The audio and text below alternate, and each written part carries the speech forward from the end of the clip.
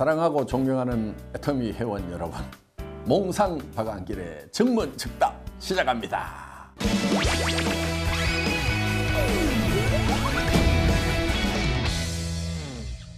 지난달에는 미국, 멕시코, 캐나다를 다녀왔습니다. 전반적인 분위기는 매우 업되고 있다는 겁니다. 그리고 미국에서도 벌써 로얄 마스터가 탄생을 했습니다. 벌써 로얄 마스터가 나왔다는 거, 아, 현지에 있는 많은 사업자들에게 아, 미국에서도 되는구나, 캐나다에서도 되는구나, 나도 하면 되겠구나 하는 그런 자신감을 어, 심어주는 그런 이제 단계에 왔다고 생각을 합니다.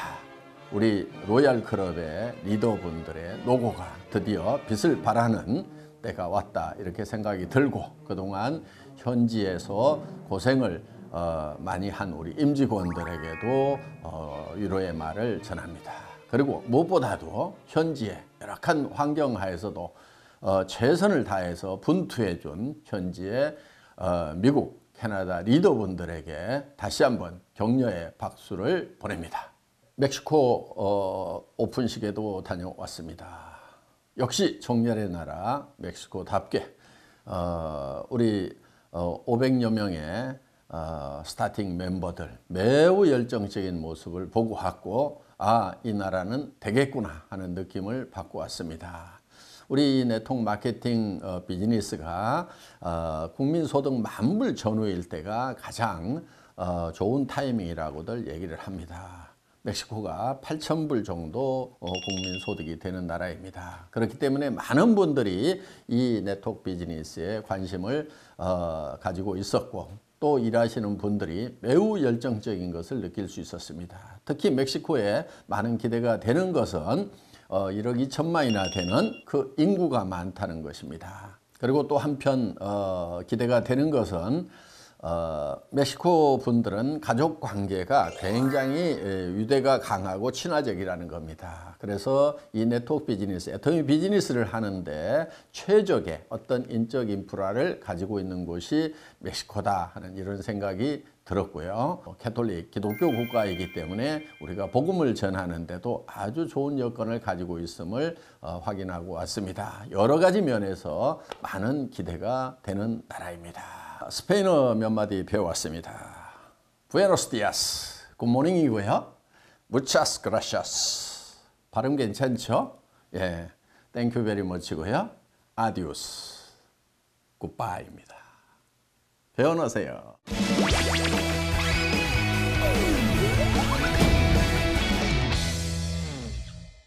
애터미의 사회적 역할은 무엇이라고 생각하십니까? 사회적 역할만 있는 것은 아니겠죠. 사회에 대해서도 국가에 대해서도 또 우리 내부 임직원들에 대해서도 고객에 대해서도 리더 사업자들에 대해서도 우리 협력 업체에 대해서도 여러 부분에 두루두루 또 사회적 약자에 대해서도 우리는 배려하는 역할이 어, 우리가 해야 될 역할이라고 생각을 합니다. 그래서 우리는 어, 어, 국가에 대해서도 가치 있는 그런 회사가 돼야 됩니다. 국가에 대해서 가치 있는 어, 회, 사가 된다고 하는 것은 첫째는 세금을 잘 내는 것입니다. 세금을 잘 내기 위해서는 이익을 창출을 해야 되는 것입니다.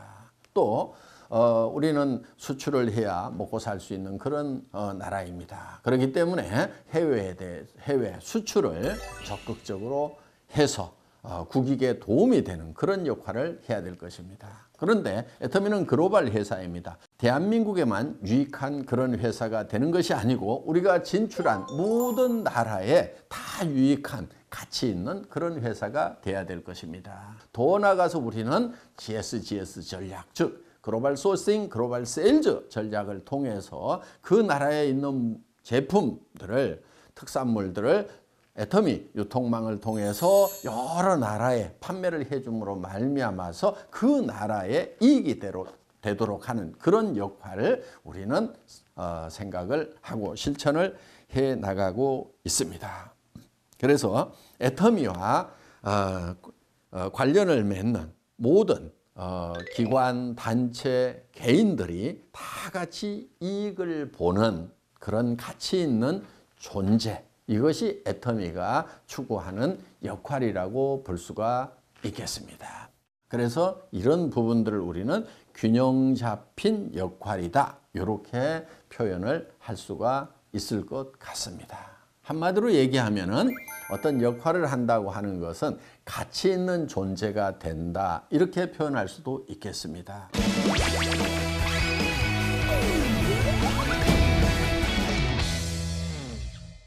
애터미를 100년 기업으로 만들기 위해 회장님께서 제일 중요하게 생각하시는 조건과 그 준비는 어떻게 되고 있는지요? 하는 질문입니다. 네, 100년 기업이 되는 데 있어서 가장 중요한 것은 원칙이라고 생각을 합니다. 우리는 오래전부터 원칙 중심 어, 강조를 해왔습니다. 사업을 진행하는 데 있어서 원칙 중심을 정확히 이해하기 위해서는 그 대비되는 개념 이익 중심을 얘기를 한 바가 있습니다. 이익 중심이라고 하는 것은 원칙과 상관없이 내게 득이 되느냐, 득이 안 되느냐를 가지고 따져서 행동을 할 때 우리는 원칙 중심이 아닌 이익 중심의 행동을 한다. 이렇게 얘기를 합니다. 그러면 그 반대 개념이 쉽게 이해할 수가 있겠지요. 나의 이해관계와 상관없이 그것이 원칙이면 정해진 규정이면 우리는 그대로 준수를 한다. 이런 이것이 어, 우리가 일을 해 나가는 데 있어서의 원칙 중심의 개념이라고 할 수가 있습니다. 애터미는 일찍이 어, 이 어, 절대 품질의 제품을 절대 가격에 팔겠다고 하는 그 원칙을 정해놓고 철저하게 준행을 하고 있고 그거를 준행하기 위해서 모든 회사의 핵심 역량을 쏟아붓고 있습니다. 어떻게 보면 그 원칙을 준행하기 위해서 모든 회사의 기본 구조까지도 거기에 맞춰져 있다. 철저하게 원칙 중심의 조직 문화를 가지고 있고 어, 사고방식을 가지고 있다. 이렇게 볼 수 있는 회사가 바로 애텀이란 회사라는 겁니다. 회사는 제품 전략을 비롯한 모든 면에서 원칙 중심으로 일을 해나가고 있습니다. 사업자 여러분들께서도 사업을 전개하는 데 있어서 철저하게 원칙을 지켜나가는 것 다시 한번 강조를 드립니다.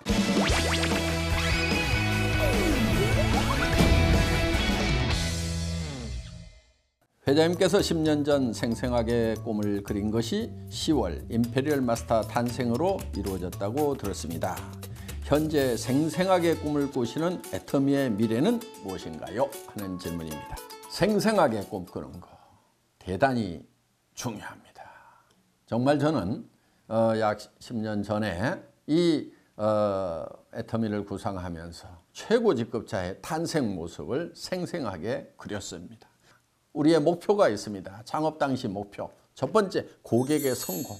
우리의 고객의 성공은 현재 진행형입니다. 연봉 1억 넘어가는 리더스 클럽들이 계속 탄생하고 있고 그 다음에 연봉 2억이 넘어가는 로얄 클럽이 계속해서 탄생을 하고 있고 이제 크라운 클럽이 만들어집니다. 크라운 클럽은 연봉 4억 이상의 정말 진정한 성공자들이 모여있는 내 삶, 내 삶뿐만이 아니고 주변에 베풀면서 살아갈 수 있는 진정한 성공자들이 모여있는 곳이 크라운 클럽입니다. 이 크라운 클럽의 멤버들 계속해서 탄생을 할 것입니다. 그리고 두 번째 목표는 유통의 허브입니다. 유통의 허브가 된다고 하는 것은 생산자와 소비자를 연결해서 모든 유통은 모든 물류는 우리를 통해서 이루어져야 한다 하는 거예요. 그것은 어, 품목을 넘어서서 모든 생활 필수품 모든 것 앞으로는 이제 무형의 제품들도 취급이 될 수 있는 날이 오리라고 생각을 합니다. 보험 같은 게 되겠죠. 그렇게 하려고 하면은 이 네트워크 마케팅 업계가 매우 착해져야 되고 또 그런 무형의 상품을 취급하더라도 어, 변질되지 않을 수 있는 어, 우리 업계의 어떤 정화와 또 역량이 갖춰져야 될 것입니다. 고가의 상품을 취급을 하더라도 고가의 상품을 가지고 어, 이 금융 피라미드 식으로 조직을 짜 내려가는 그런 어, 일들이 벌어지지 않는다고 하면은 이제 법적인 제한도 풀려 나갈 수 있으리라고 기대를 해봅니다. 이제 글로벌 소싱을 하게 됩니다. 전 세계에서 최상의 품질을 가지고 있는데 가장 값싼 그런 제품들을 찾아서 우리는 애터미에 실게 될 것입니다. 지금 글로벌 소싱을 하는 구 어, 조직이 회사 안에 지금 만들어지고 있습니다. 각국의 이 소싱 담당자들이 나가서 그 나라의 최상의 에, 제품을 선정을 해서 우리 애터미 판매망을 통해서 전 세계에다가 판매를 하는 것입니다. 그러면은 그 나라의 경제에 도움이 되기 때문에 정말 그 나라에서도 환영받는 그런 회사가 될 수 있다 하는 겁니다. 이번에 그 증거로 타이완에서 총통 우리나라로 치면 대통령님의 상을 애터미 타이완이 수상을 했다 하는 겁니다. 수상을 한 이유 세 가지가 있습니다. 첫째는 모범적으로 어, 고속 성장을 하고 있는 우수한 기업이라는 것이 첫 번째입니다. 두 번째는 어, 사회 공헌을 많이 했다 하는 겁니다. 그 다음에 또 한 가지는 타이완에서 생산되는 제품이 해외로 수출이 된 겁니다. 예를 들면 타이완에서 생산된 김이 싱가폴, 말레이시아로 수출이 됨으로 말미암아서 타이완 경제에 도움이 됐다고 하는 것이 이것이 모범적이고 모범적인 사례라고 해서 총통님의 상을 수상을 하게 됐다 하는 겁니다. 우리의 비전인 초인류 기업이 이루어져 가고 있는 것입니다. 그런데 초인류 기업이라고 하는 것이 어, 단순히 어, 대통령상을 받았다고만 해서 초인류 기업이 되는 것이 아니고 내면적으로 내실이 중요하다 하는 거예요. 초인류 기업에서 가장 중요한 관건은 저는 얼만큼 적은 비용을 가지고 경영을 하는가 하는 거예요. 우리 어, 재무제표 어, 손익계산서 분석을 해본 분들은 아시겠지만은 우리의 관리 비용이라고 하는 것은 초저에 해당이 됩니다. 3% 이하입니다. 대단한 거예요. 인건비 다 포함하고 차량 운영비, 전기료, 그 다음에 뭐 건물 임대료, 더구나 one-day 세미나 success 아카데미 지원을 하는 그런 비용들 해외 지사까지 지원하는 그런 비용들이 다 포함이 됐음에도 불구하고 3%가 안 되는 관리 비용을 가지고 경영을 하고 있다는 거. 이거는 초일류 기업이라는 어, 증표가 될 수가 있는 것입니다. 고객의 성공 변할 수 없는 우리의 목표입니다. 유통의 허브를 완성시키는 것. 현재도 허브 역할을 하고 있지만은 이거를 더 어, 글로벌로 확대를 시켜서 우리는 전 세계 모든 유통의 애터미를 통해서 이루어지는 어, 백년 기업, 백조 기업을 완성을 시킬 것입니다. 그리고 지금도 관리가 초인류 기업으로 되고 있지만은 더 완성도를 높여서 정말 모든 경영학자들이 극찬에 맞지 않는 정말 이렇게 경영 관리를 할 수가 있는가 하는 그래서 경영학 교과서에 실리는 애터미의 초인류 기업의 모습을 저는 생생하게 그리고 있습니다. 생생하게 꿈꾸고 믿음에 굳게 서서 나아간다고 하면은 우리의 꿈은 이루어진다 하는 겁니다. 여러분 모두 꿈을 이루는 분들이 되시기를 바라겠습니다. 함께 꿈꾸어 나갑시다. 감사합니다.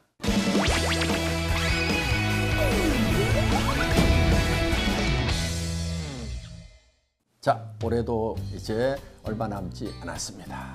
한 해 잘 마무리하시고 2018년 정말 새로운 도약이 기대되는 그런 또 새로운 한 해가 우리를 기다리고 있습니다. 더 넓게, 더 높은 차원으로 도약하시는 한 해 준비하시기 바랍니다. 디바 애터미